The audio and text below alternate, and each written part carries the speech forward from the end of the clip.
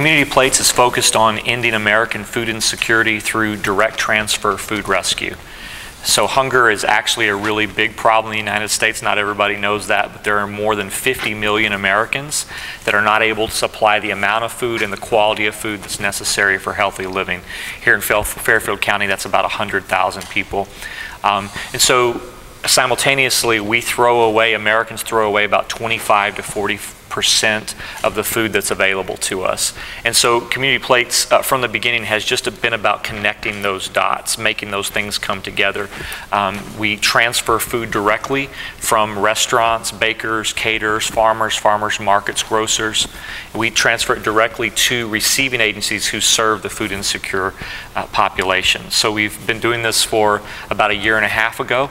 Uh, for about a year and a half, and we've so far rescued over a million pounds of food, roughly somewhere between 800 to 900,000 uh, meals that we've been able to rescue and get to families um, either through soup kitchens or food pantries um, so that they can get fed. It's, it's important because we've been noticing recently in study after study, and I think it just makes sense to us that if you're hungry, you really can't focus on anything else. Hunger is one of those things that comes first. You can't worry about getting a job. You can't worry even about housing. You can't worry about uh, friendship or anything that's really important to us as humans if we can't take care of those most basic of because of the technology, I can also rescue 100 million pounds of food with a small staff and a billion pounds of food with a small staff. The idea is, is uh, that we can keep growing, we can keep expanding, and keeping the overhead extremely low. I think people want to know when they give $10, when they give $100 to an agency,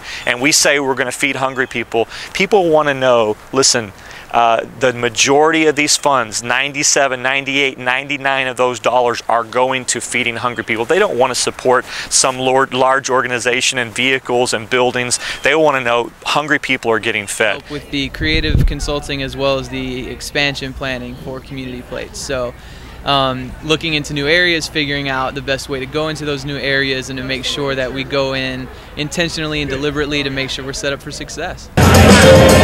Three streams. We have our food donors where we rescue the food. This is food that otherwise would have ended up in the garbage. It would have ended up in a landfill. That's the first stream. The second stream is our food runners. These are the volunteers that use their time, they use their vehicles to transfer, transfer the food directly to. And the third part of the stream is our receiving agencies. These are soup kitchens, these are food pantries. Here in Fairfield County, uh, we have Christian Community Action, we have uh, the Thomas Merton Center in Bridgeport, uh, we have uh, New Covenant House in Stamford, Pacific Homeless Shelter, Men's Homeless Shelter in Stamford. All in all, we, we uh, serve about 17 different agencies in Fairfield County. The technology is what allows us to be sustainable First of all, that's important because if we if we don't have to raise millions and millions of dollars just to keep our operations running, we're able to stay sustainable. But it also allows us to be scalable.